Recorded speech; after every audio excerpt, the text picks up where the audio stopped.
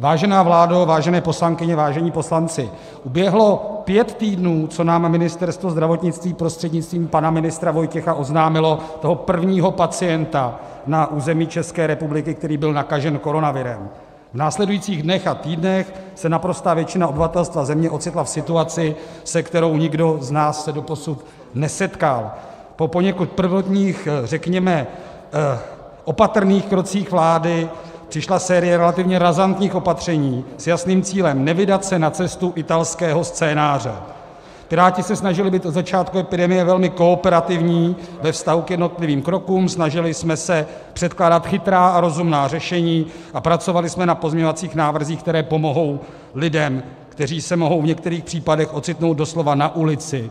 a v druhé linii jsme šili, rozváželi roušky a pomáhali jiným způsobem, vláda začala v tu chvíli deklarativně mluvit o tom, že je důležitá vzájemná spolupráce s opozicí, ta ale ze strany vlády rozhodně nefunguje, naše návrhy jsou odmítány nebo v upravené verzi píárově přebírány. A je smutné, že ty praktiky, na které jsme si už tak trochu u této vlády zvykli z toho standardního režimu, jsou uplatňovány i ve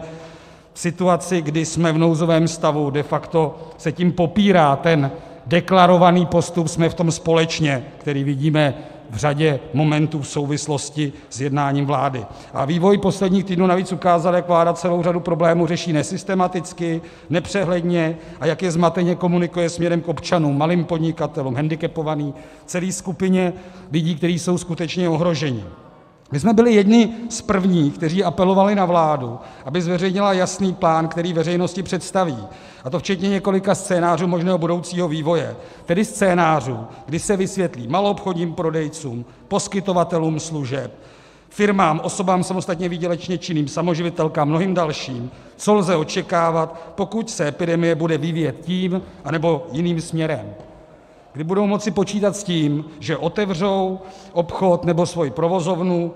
místo toho se k nám dostávají informace, že vláda například chystá otevření obchodů na Zelený čtvrtek, tedy den před velikonočními svátky, nebo protichůdné informace o promořování populace virem, jak jsme toho byli svědky včera. Proč to všechno říkám? I my opoziční poslanci reprezentujeme velkou skupinu lidí, kteří nám dali své hlasy a i nadále nám věří, že je nenecháme ve štychu.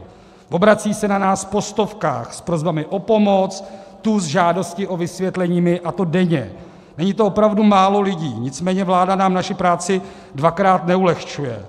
Ne vždy je jednoduché těm lidem odpovědět, a to i proto, že my, poslanci, poslankyně všech stran a především veřejnost, nemáme od vlády ten jasný plán s jasnými parametry odvislých o protipandemického plánu, který by mnohým dodal klid a některým ukázal i to pověstné světlo na konci tunelu. A na tomto základě my v následující schůzi jdeme projednávat a vláda nás žádá o prodloužení toho stavu. Já jsem se pořádně koukal do svých podkladů pro tuto schůzi, jsou tam návrhy asi 15 zákonů, které máme probrat pro následující schůzi, nicméně nějaký dokument, který by bylo možno nazvat plánem budoucího vývoje, jsem neviděl.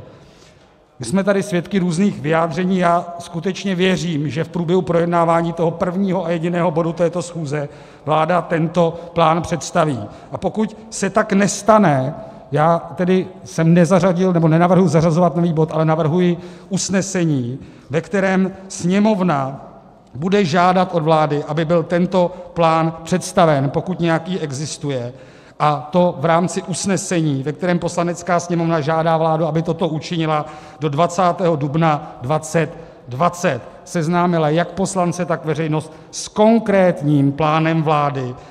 jak pro zvládnutí koronaviru, tak i jejich důsledků v České republice. Je to tedy ten den před tou další řádnou schůzí Sněmovny. My žádáme o čtyři zásadní věci: transparentní plán pro aktuální a dlouhodobé zásobování zdravotními prostředky a jejich distribuci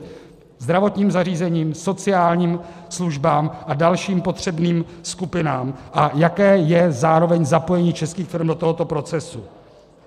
Za druhé, vývoj počtu nakažených a další kritéria, podle kterých vláda zvažuje to jednotlivé uvolňování omezujících epidemiologických opatření či jejich zavádění. Za třetí, jasná, předvídatelná celková opatření, kterými chce vláda zmírnit ekonomické dopady této krize včetně plánovaných kompenzačních mechanismů, ani dnes v tom řada lidí nemá jasno, nevím, jestli po této schůzi a následující schůzi to bude lepší, a za čtvrté jasné představení opatření pro snížení rizik či variant nové vlny případné pandemie koronaviru v České republice. Já jsem návrh na toto doprovodné usnesení dnes poslal panu předsedovi Michálkovi, který šel na grémium, rozhodl jsem se, že nebudu komplikovat projednávání této schůze, nebudu zařazovat nový bod, avizuji proto toto doprovodné usnesení v případě, že vláda v rámci projednávání návrhu na prodloužení nepředstaví tento plán ne nám poslancům, ale i veřejnosti. Děkuji.